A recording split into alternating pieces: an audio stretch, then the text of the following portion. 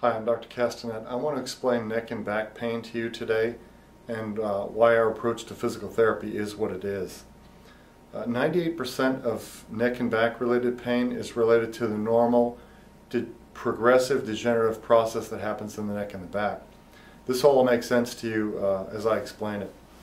Uh, there's a 2% of subset that are unusual uh, causes of neck and back pain these include things like fractures, tumors, locations, infections, things like that. But the bulk of neck and back pain happens as a result of the natural progressive degenerative process that happens. And the source of that is the changes in the spinal disc. Spinal discs over time, which function as the cushions, I'll show you using a model here. Um, spinal discs are in between the vertebrae. These are the bones that make up your spine. These are the vertebrae, or the, rather the spinal discs that serve as the cushions between the vertebrae. Uh, there are a couple of components to the disc.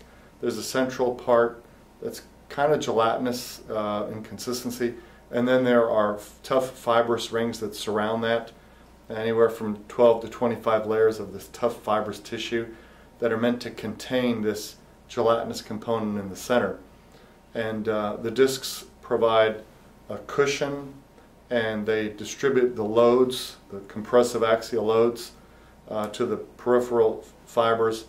Uh, they enable your spine to move in various directions and to absorb stress throughout the day as you walk and lift and bend and do all the physical things you do. But over the course of time, it's normal for these discs to become dehydrated, lose water content, then um, the pH drops in here. The cells that live within here and that are supposed to repair the disc, they uh, find a more hostile environment. Many of them die off and then they start to make fewer of the molecules to repair the disc so that day to day, month to month, year to year, they can't keep up with wear and tear and over time they degenerate.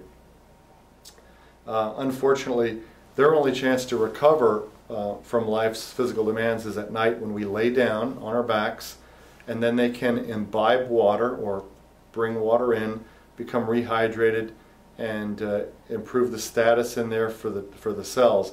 But for many of us, um, and this is partly a function of nutrition and genetics as well, uh, the physical demands, the rigors of the day uh, exceed uh, the capacity to regenerate during the night.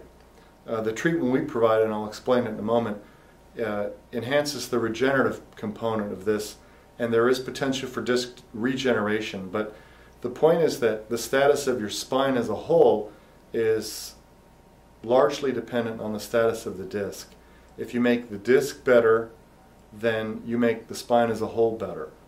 Uh, when the disc degenerates, it loses height because it's losing water content. It slowly collapses as that happens, there's more pressure on the joints of the vertebrae. Then that results in enlargement of the bones, um, and they grow in all directions, including uh, the direction of the canal here where the nerves reside. So they begin to encroach on the nerve space, and they can pinch nerves as they come down the canal.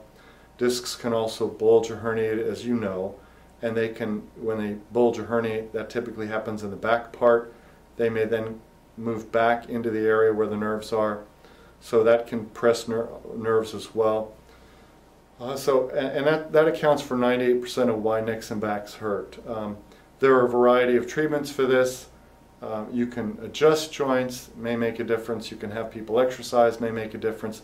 But the most direct and rational, effective and uh, means of treatment I've found in 20 years clinical experience is and I think you'll find this intuitive and logical, is uh, to take pressure off of the disc, get more water, oxygen, and nutrients into the disc.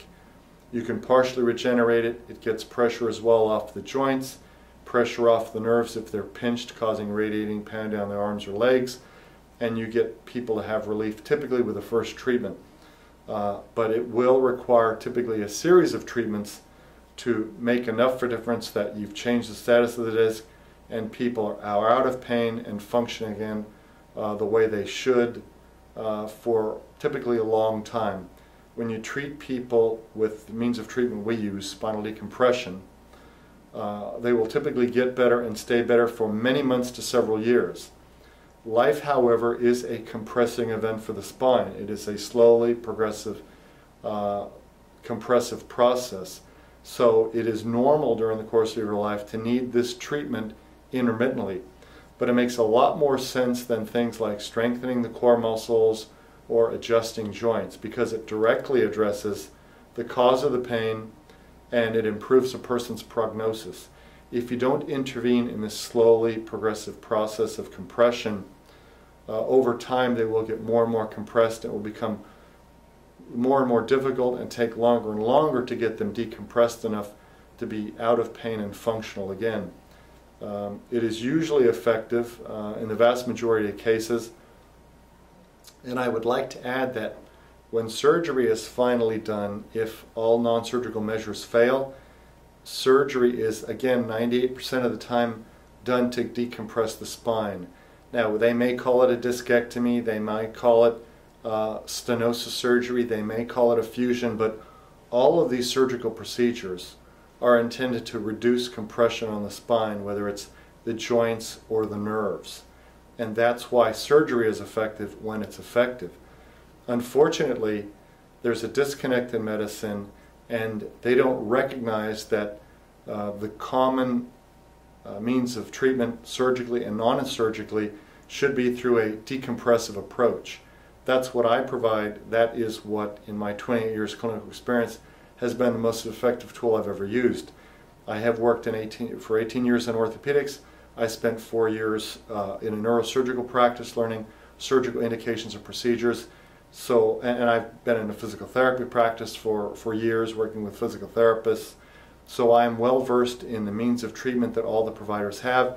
I respect them, but I can tell you that the bulk of neck and back problems would be much better served with a primarily decompressive approach to treatment for neck and back problems with adjunctive core strengthening um, and sometimes manipulation. Uh, but those are secondary procedures less directed at the primary cause of pain and less effective as a result. So if I can help you with uh, your neck or back pain, please see me. My name is Dr. Castanet. I'm in Decatur, Georgia presently. Our number is 770 908 0740 and our website is backstrong.net. You can learn more about our approach to treatment and you can learn more about your pathology, whether it's degenerative disc disease, sciatica, spinal spondylolisthesis, or any number of other uh, spinal pathologies. You can go to the website, watch some videos, and I explain the pathology and why um, we use our particular approach to treatment for that pathology. Thanks very much.